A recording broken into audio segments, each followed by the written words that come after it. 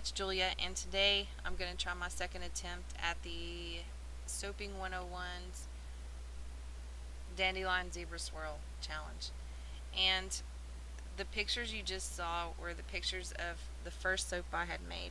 Now I made these soaps, I make these soaps with goat's milk and um, the first batch actually overheated in the mold and that picture of the soap you can see the the cavern and greasiness of it, it, it, it separated in the mold. But here I am to try again. And um, on this batch, I used goat's milk. I used a different fragrance oil as well, and it does accelerate. And in this batch, though, I started it on um, at room temperature. My um, milk solution was cooled down in an ice bath, and um, my oils were room temperature. Everything was room temperature. As a matter of fact, my um, lye milk mixture was was pretty cool. Um, so here I am attempting it again, and the colors I'm using are um, micas that I get from uh, the conservatory. Um, I'm using like a peacock blue, sapphire blue, and uh, I think that is sunrise orange. And then also one color had titanium dioxide in it.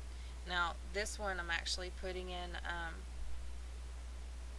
a little bit of oil in mica 24 karat gold mica mix. It really doesn't show up but it gave it kind of more of a dark, darker color because I wanted a contrast between the white soap and the um, natural soap.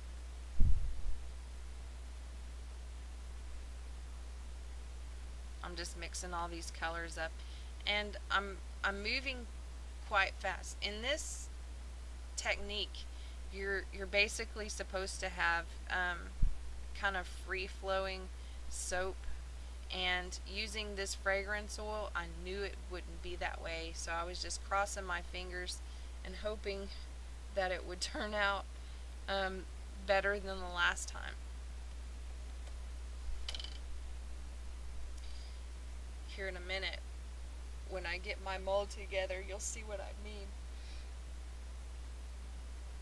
And if you want to um, take a look on Soaping 101 channel, she, she does it like it's supposed to be done, um, where the uh, soap is actually more free-flowing. But my soap gets to a thick trace really, really, really quick. And um, it could, it's attributed to the goat's milk, the fact that I put colloidal oatmeal in it, and um, also the fragrance oil, which which I knew was going to happen. So I just kind of planned accordingly and just went with it. And I was determined to uh, have a soap that turned out the mold without separating. Honestly, um, the pictures that you saw before I started this, I've I hadn't had that happen. I've seen it happen to other folks, but um, it happens. Um, I got busy doing other stuff. I wasn't watching it. Um, usually, when I notice that my goat's milk soap starts to overheat, which it tends to do, um, I actually throw it in the freezer. But I didn't do that to this one, and or that first one, and that's that's what happened. Um, it overheated and separated inside. It looked fine on the outside, but the inside was just a horrid mess. With this technique, um, I'm going to pour my base down in the mold. And on my base, um, I actually just did an in the pot swirl to kind of give it a different contrast.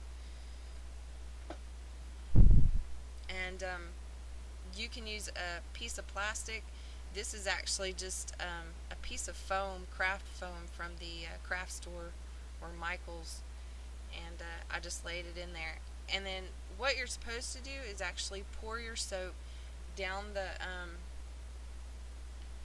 down the piece of um, foam or plastic in uh, alternating but as you can see my soap is at a heavy trace it is um, to the point of the spooning stage. I mean, that's all you can do is just spoon it on there, glop it on there. at this point, I was just thinking to myself, oh, let's just get this in there and I hope it works.